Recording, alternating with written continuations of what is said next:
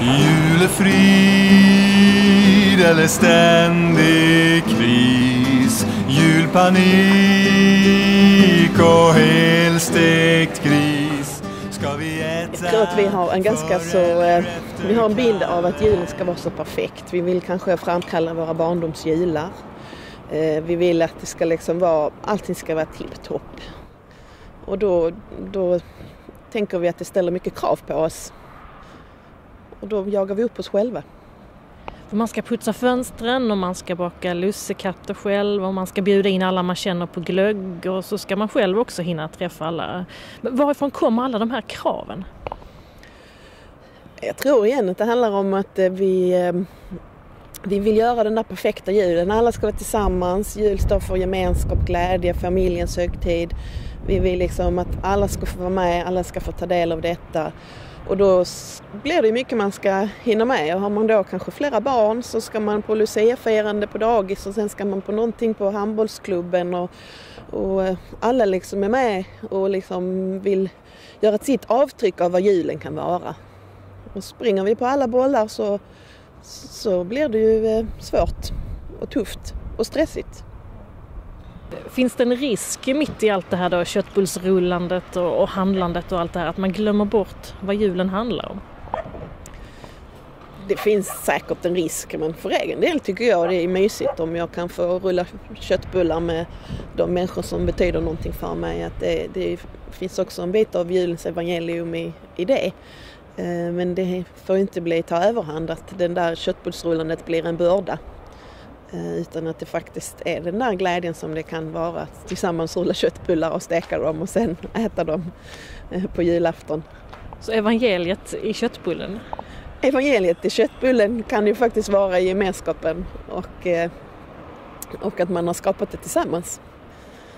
Och inte att någon har stått och stressat med det på natten själv.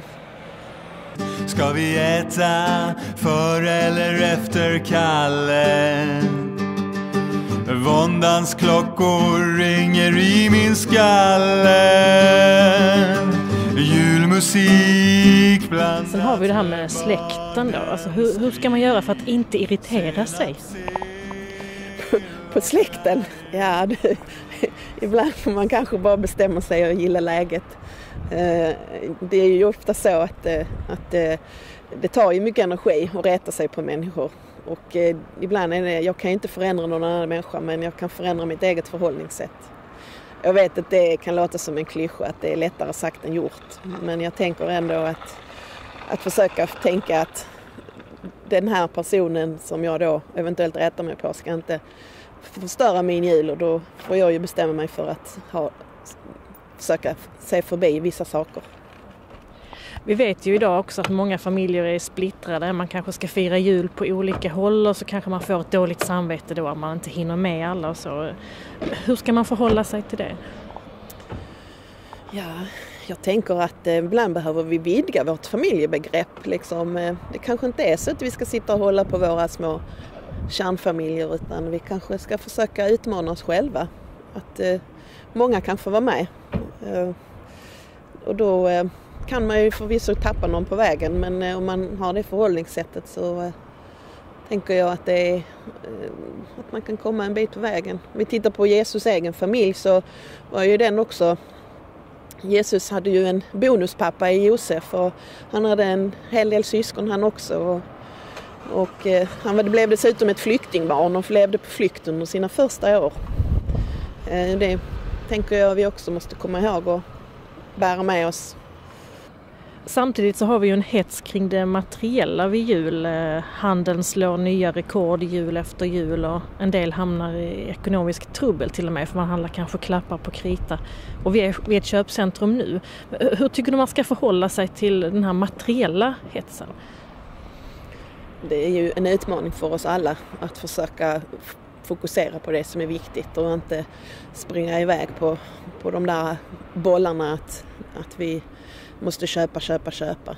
Vi har ju säkert många saker och det intressanta är ju att egentligen handlar ju julen om traditioner och sånt som man var med om förr. Så eh, den där eh, halmängen som har hänt i granen den kanske kan få vara med ett tag till. Man behöver inte nya vita julgranskulor och glitter varje år utan det bygger ju mycket på det, det som, som man har med sig.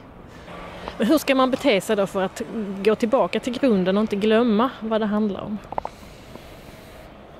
Jag tänker att för min egen del så är det viktigt med alla de här fantastiska eh, sånger och salmer och underbara texter som är förknippat med julen och julens budskap. Uh, och på kvällen så i samband med julklappsutdelandet så brukar vi alltid läsa julevangeliet och det har vi gjort var vi än har varit och firat jul. Och det kan jag tänka är en utmaning att man, att man, att man faktiskt gör det där man befinner sig. Så det är ditt tips? Det är mitt tips. Om jag då i julhelgen ska välja bara en gudstjänst, jag hinner bara med en, vilken ska jag välja då? Ja, för, för min egen del om jag måste välja så hade jag valt eh, midnattsmässan. När man liksom har ätit maten och kanske julklappar är utdelade i den mån man har det och så. Så att få landa i julens budskap där i julnatten. Eh, det, den gillar jag mest, en midnattsmässa. Där man också får dela bröd och vin med varandra.